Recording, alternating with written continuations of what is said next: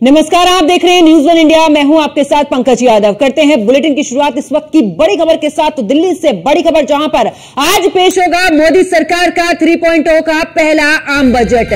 वित्त मंत्री निर्मला सीतारमण आज पेश करेंगे आम बजट, जहाँ पर वित्त मंत्री पहुँची है निर्मला सीतारमण और नौ बजकर पंद्रह मिनट पर राज्य मंत्रियों के साथ फ़ोटो सेशन भी होगा और साढ़े नौ बजे निर्मला सीतारमण राष्ट्रपति से मुलाकात करेंगी।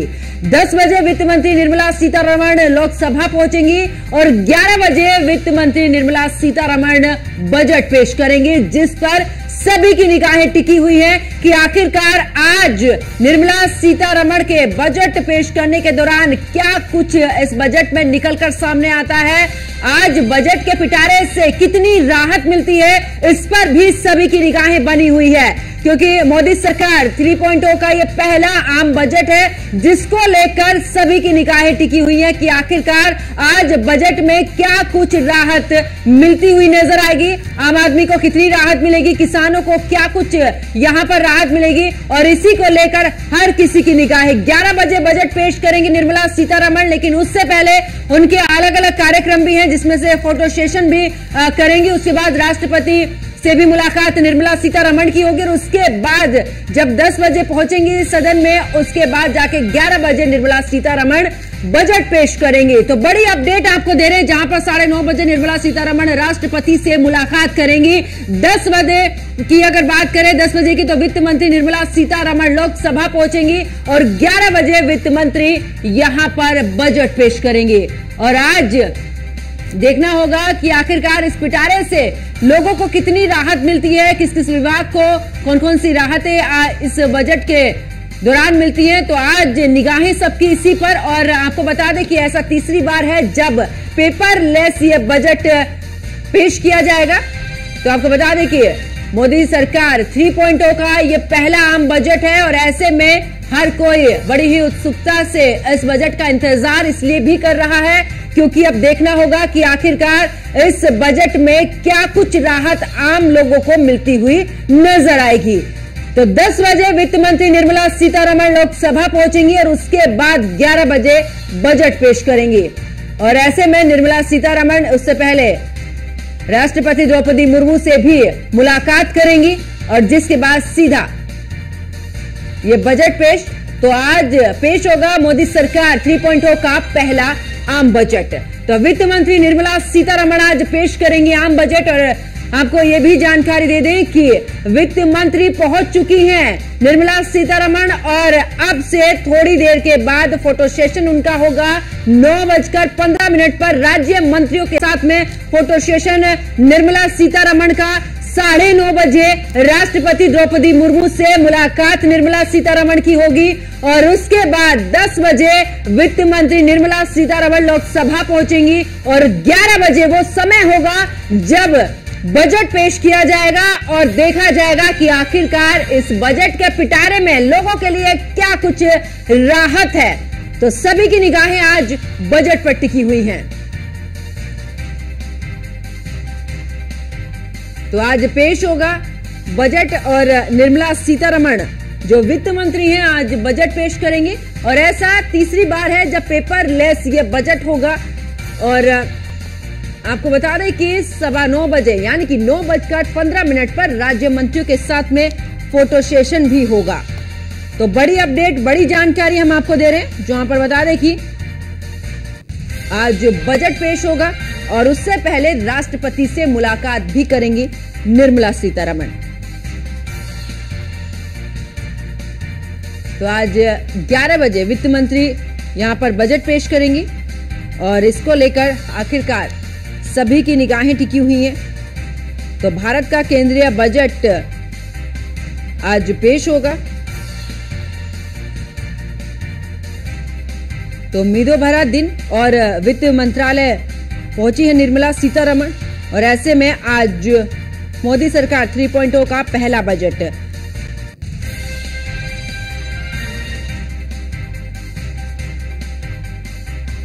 और इस दौरान आपको बता दें कि आयकर में छूट को लेकर भी बड़ी उम्मीदें हैं और देखना होगा आखिरकार कि मिडिल क्लास के लिए इस पिटारे में कितनी खुशी है। तो सभी की निगाहें टिकी हुई हैं और शेयर बाज़ार में क्या हो सकता है, ये भी आज इस बजट पर निर्भर भी करेगा। तो उम्मीदों भरा दिन और वित्त मंत्रालय पहुँच चुकी है निर्मला सीतारमण और 11 बजे पेश करेंगी बजट।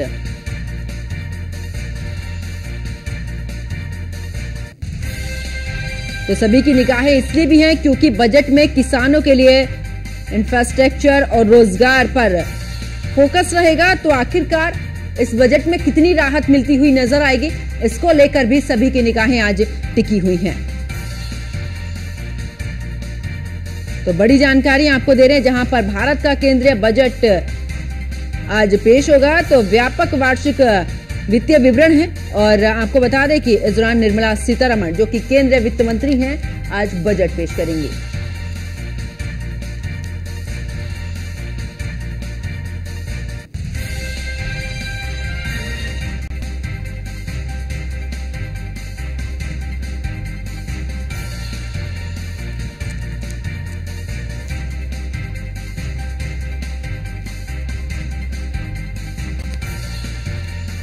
तो वित्त मंत्रालय पहुँची हैं निर्मला सीतारमण।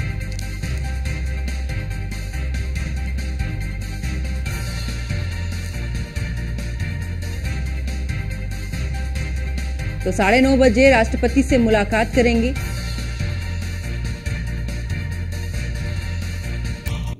तो आज जिस तरीके से मोदी सरकार 3.0 का ये पहला आम बजट है और इसी को लेकर हमारे साथ में चर्चा के लिए कुछ मेहमान जुड़े उनका परिचय आपसे करा देती हूँ। ब्रजेश भाटी इस दौरान किसान नेता हमारे साथ में जुड़े हैं। राजेश पैनल सीए हमारे साथ में जुड़े बहुत बहुत स्वागत है आप दोनों का न्यूज़ वन इंडिया पर। आ, राजेश जी क्योंकि बजट पेश होगा सभी की निगाहें हैं। आज आपको क्या लगता है कि कितनी राहत जो है वो मिल सकती है इस बजट से? क्योंकि सभी की उम्मीदें लगी हुई हैं।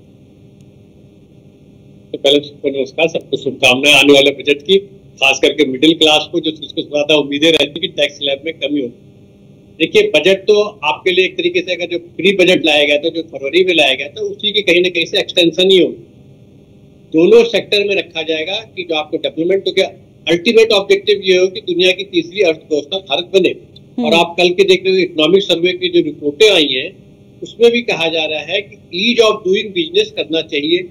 बिज़नेस आसानी से होना चाहिए। तो मतलब कहीं ना कहीं सरकार को बिज़नेस के ऊपर भी फोकस रखना पड़ेगा। आरबीआई ने कहा है रिज़र्व बैंक ऑफ़ इंडिया ने कहा है कि आप महँगाई की ज़्यादा चिंता मत कीजिए। जो महँगाई से डायरेक्टली अफेक्टेड है मतलब जो मिडिल क्लास या लोअर मिडिल क्लास या लो एकदम लोअर क्लास जो अफेक्टेड है, उनको कोई ऐसा सिस्टम बनाइए कि उनको कोई कूपन दिया जाए जिससे कि उनका जो एडिशनल एडिशनल जो एडिशनल जो उनके ऊपर बोझ आ रहा है, उसको कहीं ना कहीं से सब्सिडाइज किया जा हम्म। सके उसको कहीं ना कहीं उसका भार कम किया जा सके तो ये सब चीज़ें एक दिखलाता है कि सरकार किस ढंग से जाने वाली है सरकार का एक बड़ा क्लियर कट होगा एक तो दोनों चीज़ें फर्म स्टेप लेगी कोई बहुत ज़्यादा ऐसे स्टेप मत सोचे कि कोई रेवड़ी बांटने जा रही है ऐसे कुछ हम्म। करने जा रही है हाँ ये बात ज़रूर है कि साथ साथ एकदम ध्यान रखेगी किस ढंग से जो हमारी मात्र शक्ति है क्योंकि ऑलरेडी हमने पिछली बार भी कहा कि थर्टी सरकार ने पिछली बार भी कहा कि थर्टी थ्री परसेंट के करीब उनके उनके लिए रिजर्वेशन दिया तो उनके एक स्पेशल ध्यान रहेगा कि वो मेन स्ट्रीम में कैसे आए उसके लिए हम्म। ज़रूरी है कि उसको बजटरी सपोर्ट भी दिया जाए उनके उनको कहीं बिज़नेस में लाने के लिए सेल्फ सेल्फ एम्प्लॉयमेंट में लाने के लिए इन सब चीज़ों एक दूसरा सपोर्ट ज़रूर है कि आपको बेरोजगारी को भी कम करना है तो जैसे अस्सी अस्सी लाख के आसपास की बेरोजगारी की बात मान के चल चलते कि एक अस्सी लाख से एक लोगों को हर साल बेरोजगारी के उससे बाहर निकालना है मतलब उनको रोज़गार देना है। तो एक उसका भी रहेगा कि अब रोज़गार देने का तरीका क्या रोज़गार देने के दो ही तरीके या तो सरकार खुद नौकरियाँ दे या प्राइवेट सेक्टर नौकरियाँ दे और दूसरा है कि आप सेल्फ डेवलप हो अपने आप स्किल आपकी इतनी डेवलप हो कि आप रोज़गार में तो रोज़गार में सरकारी नौकरियों के कोई बहुत ज़्यादा चांसेस नहीं है कि आप इकोनॉमिक सर्वे में पढ़ रहे हो कि अब आपके चैलेंजेज हो गए हैं आर्टिफिशियल इंटेलिजेंस हम्म। और दूसरे आपके चैलेंजेज आगे जो है जो इंटरनेशनल मार्केट है आप उससे भी कहीं ना कहीं जाकर के गवर्न होते हैं। आर्टिफिशियल इंटेलिजेंस हो गया इन्वायरमेंट आपको इन्वायरमेंट पे आपको एकदम होल्ड करके रखना है, उसको भी आपको कहीं ना कहीं उसको भी उसको भी आपको देखना है कि लगातार इन्वायरमेंट के कारण से जो परिवर्तन हो रहा है, उसको कैसे सब्सिडाइज करते हैं वो भी हो होगी आपको उस वाले एरिया को भी देखना है। तो आर्टिफिशियल इंटेलिजेंस के कारण से क्या हो रहा है कि आपकी जो गवर्नमेंट की जॉबें हैं, जो खास करके जो मैकेनिकल जॉबें होती है, जो सिंपल से आपको आंसर देना है, जवाब देना है, इस टाइप की चीज़ें है, या डाटा टैली करना है वो सब जॉब अब जो जो नॉर्मली दूसरे क्लासेस की जॉबें थी वो कहीं ना कहीं से खत्म होंगी। ज़्यादा जॉब बढ़ने की संभावना नहीं तीसरी हमारी बहुत ज़रूरी चीज़ है कि हम किसानों को कैसे करें। किसानों से लगातार हम लोग का है ये देश भी कृषि प्रधान रहा हुआ है और आगे भी कृषि के ऊपर बहुत ज़्यादा है।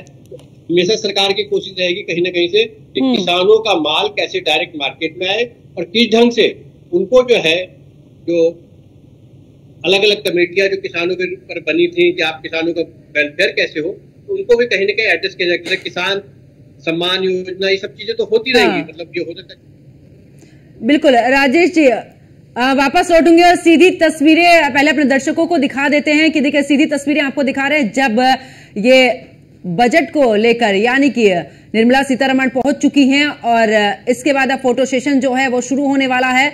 तो देखिए सीधी तस्वीरें हम आपको दिखा रहे हैं, जहाँ पर राज्य मंत्रियों के साथ में फ़ोटो सेशन और आज इस पिटारे से कितनी राहत आम लोगों को मिलेगी, इस पर भी सभी की निगाहें हैं। और सीधी तस्वीरें हम आपको दिखा रहे हैं न्यूज़ वन इंडिया सीधी तस्वीरें दिखा रहे हैं, जहाँ पर आपको बता दें कि आज इसी पिटारे से निकलेगी आम लोगों के लिए वो राहत।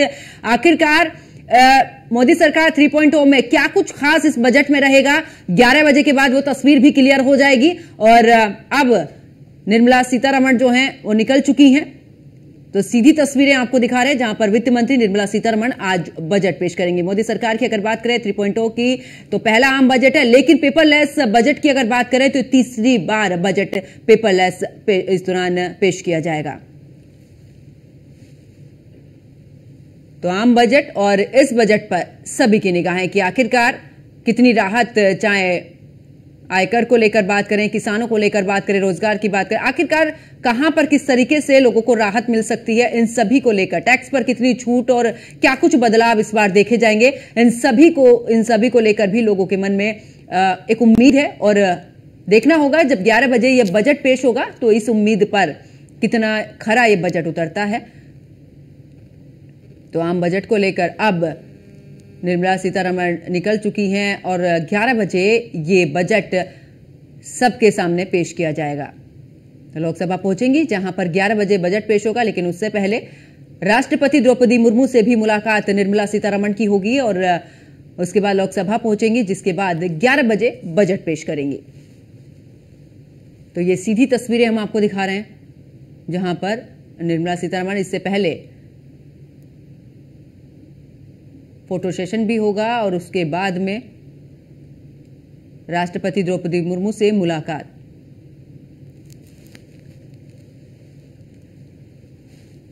तो आज मोदी सरकार 3.0 का ये पहला बजट है और इस पर सबकी निगाहें भी टिकी हुई हैं और तमाम वादे इस बार किए गए थे। अब देखना होगा उन वादों पर कितना खरा उतरा जाता है। और आम लोगों को इससे क्या राहत मिलती है? किसानों के हित की हमेशा से ही बात होती रही है। ऐसे में देखना होगा कि आखिरकार किसानों को इसमें कितनी बड़ी राहत मिलती हुई नज़र आएगी। अर्थव्यवस्था की बात हमेशा से ही हमने सुनी है।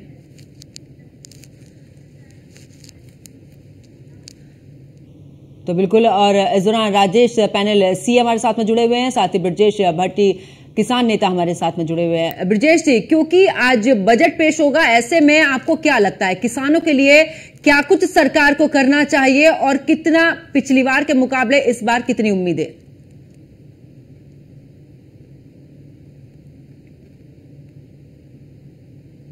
हेलो। ब्रजेश जी आवाज़ मिल पा रही है? आवाज़ आ रही है आपका आ, ठीक है। ब्रजेश सिंह क्योंकि पिछली बार के मुकाबले अगर हम बजट को देखें इस बार किसानों को कितनी उम्मीद है इस बजट से? देखिए पंकज जी दस साल सरकार हो गए और तीस सरकार हम्म। का तीसरा टर्म है। किसान को हर बार उम्मीद रहती है कि कुछ ना कुछ इसमें मिले। हम्म। लेकिन पिछले दस साल में किसान को कुछ नहीं मिला। हम तो उम्मीद रखते हैं कि इस बार क्योंकि जिस तरह जनता ने इनको मैंडेट दिया है जब जिस तरह से इनकी सीटें कम हुई हैं। इसमें कहीं ना कहीं जो हमारे तेरह साल तेरह महीने का आंदोलन रहा उसका बहुत बड़ा प्रभाव रहा है। हरियाणा में देख लो यूपी में देख लो अब सारी जगह देख लें। सरकार को ये देखना चाहिए कि अगर किसानों के लिए जितनी भी इन्होंने घोषणाएँ की थी इन्होंने कहा कि एमएसपी लागू कर देंगे। हम्म। इस बजट में सरकार एमएसपी लागू करें स्वामीनाथन आयोग की जो रिपोर्ट है सी टू प्लस फिफ्टी उसको लागू करें। हमारी जो किसान निधि है आप ध्यान से सुनना किसान हम्म। निधि जो हमारी छह हज़ार रुपए है। उस दिन से ही कह रहे हैं लगातार चैन रुपए की हमारी किसान निधि पंद्रह हज़ार रुपए इस बजट में सरकार करे जिससे किसान को लाभ मिल सके। जो हमारे कर्जा जो हमारे किसानों पर कर्ज है उसको माफ़ करने का काम करें। कर्ज मुक्ति इन्होंने पहली बात की थी। मैं आपसे कहूँगा जो हमारे किसान साठ साल के हो गए हैं जिनको जो खेत में काम नहीं कर सकते जिस तरह गवर्नमेंट के अधिकारियों को ये जो है पेंशन देते हैं उस तरह किसान को दस हज़ार रुपए की पेंशन देने का काम सरकार के बजट में करे। जो हमारे पुराने ट्रैक्टरों पे इन्होंने रोक लगा रखी उसको हटाने का काम करे जो इन्होंने कृषि बजट तीन परसेंट था हमारा उस कृषि बजट को सात सात प्रतिशत करने का काम करे जिससे किसान को सीधा लाभ मिलेगा। और हम्म। इससे ज़्यादा हमें कुछ नहीं लगता कि और कोई ऐसी चीज़ें ये कर सकते हैं। ये तो वो चीज़ें हैं जो इन्होंने खुद ने घोषणा की हुई है लेकिन अभी तक किसी भी चीज़ पर इन्होंने कोई काम नहीं किया है। इसलिए आज ये सरकार का तीसरी जो इनकी सरकार बनी है तीसरा उनका सरकार ट्रंप का पहला बजट आ रहा है। हम्म। तो इसमें ये नहीं दिखाना चाहिए कि हम किसान हितेशी हैं और किसान के पक्ष में हम काम करने के लिए तैयार हैं। ठीक है ब्रजेश जी वापस लौटूँगे। राजेश जी से समझते हैं। राजेश जी अ, किसानों को लेकर अभी जिस तरीके से ब्रजेश जी बोल रहे हैं इतना कुछ अगर होता है या एमएसपी लागू होती है तो कितना असर पड़ेगा? देखिए एमएसपी मतलब ऐसा एरिया रहा है वो लगातार कई सालों से चल रहा है। हम्म। अभी तक उसका कोई बहुत ज़्यादा सॉल्यूशन मिले नहीं है। कि मिनिमम सपोर्ट प्राइस के लिए कई अब सरकार के अपने कहना है कि जी इतने अगर हम सपोर्ट देंगे तो हम हमारे पास इतना बजट एलोकेशन के लिए पैसे नहीं होते। हम्म। किसानों का ये कहना है अगर आप हमें सपोर्ट नहीं देंगे तो हम सर्वाइव कैसे करेंगे? हम्म। तो जो कोऑर्डिनेशन है इन बिटवीन वो मिलता नहीं। सरकार धीरे धीरे स्टेप बाई स्टेप चल रही है। किसी ढंग से किसानों को उसके पैसे, जो जितना उनका खर्चा या प्लस प्रॉफिट और ये चीज़ें हैं, उनकी भरपाई की जाती है। अब उसके लिए भरपाई करने के लिए ज़रूरी नहीं होता सिर्फ़ कि एमएसपी है मिनिमम सपोर्ट प्राइस उसकी भरपाई करने के लिए कि आपको उचित मार्केट भी दिया जाए। मुझे लगता है कि उचित मार्केट पे गवर्नमेंट का ज़्यादा हुआ है ज़ोर क्योंकि एमएसपी हमेशा डिस्प्यूटेड रहेगा कहीं ना कहीं जाकर के। एक जो आप, जो भी आप फार्मूला बताएँगे, उसको दूसरी पार्टी नहीं मानेगी। और उस फार्मूले पे कितना माल बिकेगा कितना माल खरीदे जाएगा और खरीद के कहाँ स्टोर किया जाएगा हम्म। और कैसे किया जाएगा। ये ज़रूर है कि एमएसपी के लिए लगातार किसान भाई बोलते हैं कि एमएसपी पे आप एक बार दीजिएगा तो आपको जो प्राइवेट सेक्टर वाले में भी वो भी बाउंड हो जाएँगे कम से कम उस रेट तक आपको माल खरीदे। हम्म। तो सरकार जो लेकिन सरकार का व्यू जो मुझे अब तक का जो बजट देखने से सब चीज़ें समझ में आती है सरकार का व्यू ये है कि किसी ढंग से उन्हें मार्केट किया जाए मार्केट ड्राइवन हो जाएँगे और उसके लिए चाहे कोई तरीका अपनाना पड़े, जिससे कि एक तो उनको सब्सिडाइज किया जाए, किसी ढंग से उनके मार्केट सब्सिडाइज उनके लिए कोई पोर्टल दिया जाए। जब उनका माल ज़्यादा बन रहा तो उसको एक्सपोर्ट की पोजिशन में लाया जाए तो डायरेक्ट मार्केट को एक्सेस कर सके अपने समूहों के समूहों के द्वारा, अपने एनजीओ के द्वारा, अपने कोऑपरेटिव सोसाइटीज के द्वारा, अपने दूसरे ऑर्गेनाइजेशन के द्वारा, कि जिससे कि वहाँ पर आप उन जगह पर पहुँच सके, जहाँ पर आपको प्रॉपर उसकी प्राइस मिले। एमएसपी भी लेकिन आपको देना ही पड़ेगा। एमएसपी था तो है नहीं। बिल्कुल ही आप एमएसपी नहीं देंगे। तो एमएसपी के लिए कुछ ना कुछ सरकार करेगी जो मुझे लगता है जो मिनिमम सपोर्ट प्राइस की बात करते हैं। कितने आइटम पे कर पाएगी? उसका अल्टीमेटली फार्मूला जो है जो जो कमेटियाँ बनी उनके हिसाब से कर पाएगी नहीं कर पाएगी कितना सेटिस्फेक्शन होगा। लेकिन सरकार अभी भी कर रही है और मुझे लगता है कि आगे भी उसको सपोर्ट देगी। लेकिन सरकार की अपनी एक लिमिटेशन होती है टोटल ओवरऑल बिल्कुल लेकिन राजेश जी यहाँ पर समझने की कोशिश करेंगे जो आम जनता है आखिरकार चाहे खाने पीने की चीज़ों से लेकर जो बेसिक चीज़ें हैं उन पर जिस तरीके से टैक्स लगा दिया जाता है अगर इस दौरान हम पूरे सिनेरियो को देखें कि आखिरकार कहाँ पर राहत मिल सकती है और किस जगह से राहत मिलते हुए जो अर्थव्यवस्था है वो भी संभली रहे ऐसा कुछ इस बार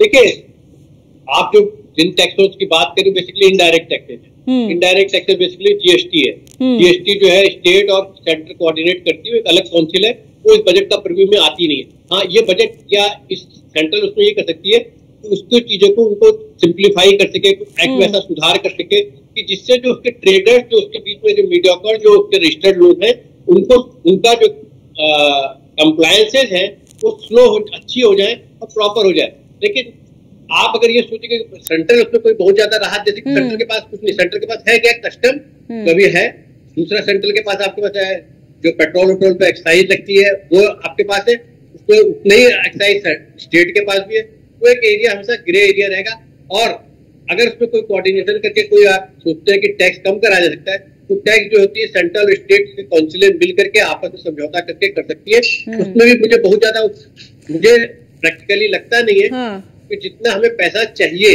हाँ।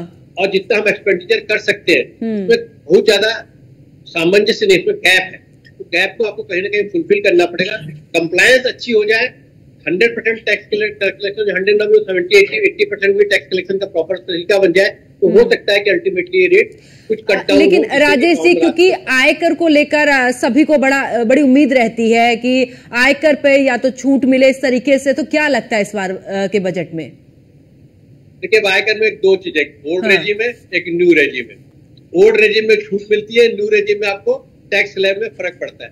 मुझे लगता है कि इस बार टैक्स स्लैब में आपको न्यू रेजिम में आपको बेनिफिट दिया जाएगा। हम्म। कुछ टैक्स स्लैब कम किए जाएँगे कुछ लिमिट जो होती है मान लीजिए अभी पाँच लाख रुपए तो छह लाख या साढ़े छह लाख या सात लाख रुपए करी जाएगी हम्म। जिससे कि आम आदमी क्योंकि उससे सरकार के ऊपर कोई डायरेक्ट बहुत ज़्यादा इम्पैक्ट कई लाख करोड़ रुपए का नहीं पड़ता और साथ हम्म। साथ ये हो जाता है कि बहुत से लोग जो होते हैं टैक्स के रेंज में आ जाते हैं अपने रिटर्न में भरना शुरू कर देते हैं तो मुझे हम्म। लगता है स्लैब में करके कि आप न्यू रेजिम में आइए और न्यू रेजिम में आपको टैक्स स्लैब में कुछ कट डाउन करके कुछ बेनिफिट दिया सके जहाँ आज जहाँ आज की डेट में आपका पचास हज़ार रुपए टैक्स लगता है वहाँ उसको दस हज़ार या पंद्रह हज़ार रुपए लाके कट डाउन किया है। बिल्कुल वापस राजेश जी। हाँ बिल्कुल वापस लौटूँगे और ब्रजेश जी क्योंकि कई बार हमने चर्चा की है और किसानों का ये भी कहना रहता है कि हम कुछ भी खरीदते हैं उस पर जीएसटी लगती है उस जीएसटी को कम किया जाए क्योंकि उतनी इनकम नहीं है। जितना खर्च हो जाता है किसी भी उपकरण को खरीदने में तो क्या लगता है क्या इस दौरान छूट को लेकर आखिरकार इस पर कितना असर नज़र आएगा?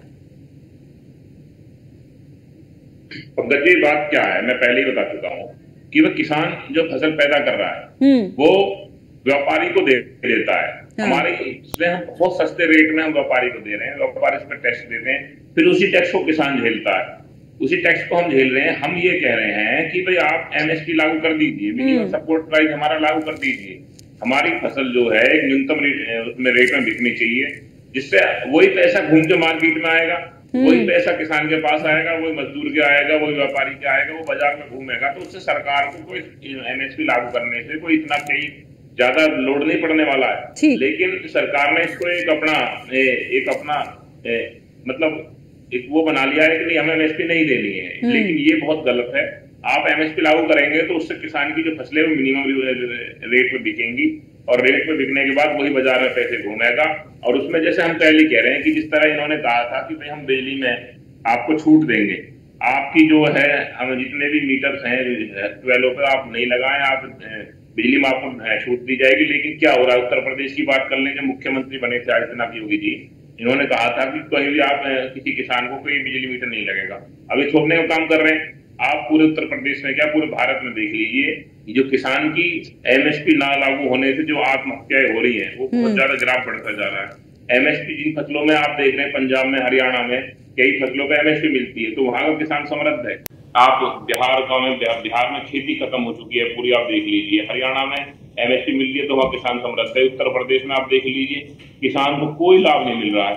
तो इस बजट में जो हमारी वित्त मंत्री निर्मला सीतारमन को ये देखना होगा कि जिससे इस किसान को समृद्धि मिले इसके जो पालन पोषण है और इनकी जो जो इनकी खाद बीज की जीएसटी है वो हटाई जाए जो हमारे कृषि के उपकरण है उन पर जीएसटी हटाई बिल्कुल। जाए जिससे हम पे इस पर ध्यान देना होगा और देखना होगा कि आखिरकार आज क्या कुछ बजट में निकलकर सामने आता है? ब्रजेश जी, राजेश जी बहुत बहुत शुक्रिया हमारे साथ जुड़ने के लिए। और आपको बता दें कि आज मोदी सरकार 3.0 का पहला आम बजट है और सभी की निगाहें इसलिए भी टिकी है कि आखिरकार आज बजट के पिटारे से क्या कुछ निकलता है? कितनी बड़ी राहत लोगों को मिलती है? इसी पर सबकी निगाहें, क्योंकि 11 बजे का जो समय है, वो भी आखिरकार अब धीरे धीरे आगे बढ़ने लगा और ऐसे में ग्यारह बजे के बाद वो तस्वीर भी क्लियर हो जाएगी, जबकि इस बजट से कितनी राहत मिलेगी इस पर भी जो तस्वीर है, वो पूरी तरीके से साफ़ हो जाएगी। मेरे साथ फ़िलहाल इतना ही। आप देखते रहिए न्यूज़ वन इंडिया नमस्कार।